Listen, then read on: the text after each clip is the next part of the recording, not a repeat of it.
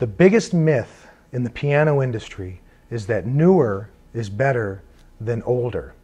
In many industries, that's true. In the car industry, the newer the car, the safer it is. It's got airbags, and you buy a new computer, it has more memory than the one that was built six months ago. But in the piano industry, it's exactly the opposite. The golden era uh, for piano manufacturing was, let's say, between 1900 and 1930. Fundamentally, they were building pianos back then for different reasons than they're building them for now. That, that's critical to understand. Back then, everybody played the piano. The kids played, the parents played, the grandparents played, and the memories were created in the parlor room around the parlor piano, be it an upright piano, a grand piano. Uh, it was before radio and television and obviously computers and video games, and, and uh, that's what the family did. It was a very discerning public, and the piano industry knew that, and they were building um, accordingly. Today, the vast majority of people uh, that buy pianos don't even play. I think the statistic is 90% of the people that buy pianos uh, just want what technicians in the industry called PSOs, piano shaped objects. The, the philosophy is different. You know, the manufacturers are, are willing to, to build to that mindset. Uh, it's, it's more to fit a price point today, that, that magic $5,000 figure for a baby grand. Uh, the manufacturers will accommodate that. They'll do whatever they have to do to build a shiny looking little black piano um, that you can fit in your living room for $5,000, sacrificing whatever they have to sacrifice. For a long time, the, the, the case made, parts were made out of particle board. Now, believe it or not, it's compressed recycled newspaper that they glue together and then just spray the finish over.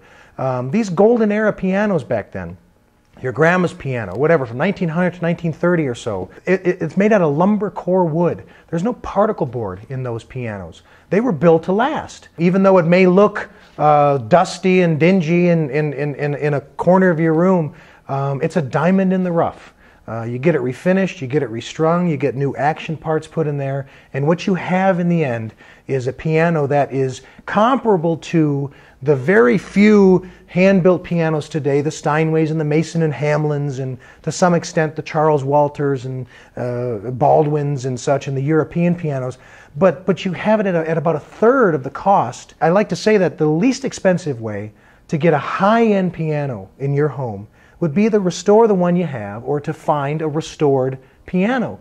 If you want a high-end instrument, you can certainly get a less expensive used or new, you know, uh, Asian-built piano for, for less than it would cost you to fully restore a new one or, or, or a restored one. But it, it's just not the same instrument. You basically have two choices now in the piano industry. You have production line, which is again the vast majority of pianos built today. Probably 90% of what's built today is production line, um, mostly in Asia, you know, Japanese and Korean made pianos. Or you have the very few companies that still hand build pianos, Steinway, Mason and Hamlin, and such.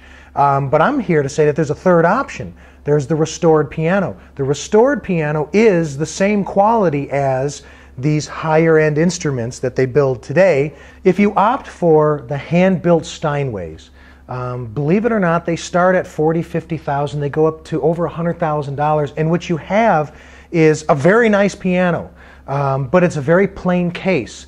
Um, the raw materials that they have today isn't what they had back then. Back then, when they built pianos like this, this is a 120 year old Weber in Brazilian rosewood. These were this is first generation trees. Um, today, they get second and third generation trees. They got to piece them together, uh, and they've got some decent veneers today, but nothing like this. So you have the best of form and function. You have the, the, the, the, the same quality as the higher end instruments that you buy today, but you have the character of the Victorian era, uh, not to mention the fact that it's, it's a fraction of the cost of a new hand built piano. So if you're thinking that you kind of want to go in the direction of the least expensive piano out there, you're not going to find that with me.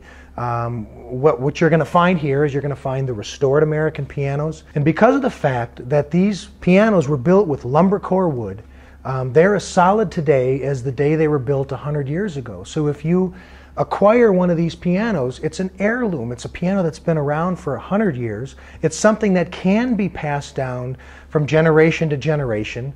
Um, and it's just, a, it's just a wonderful piece of history.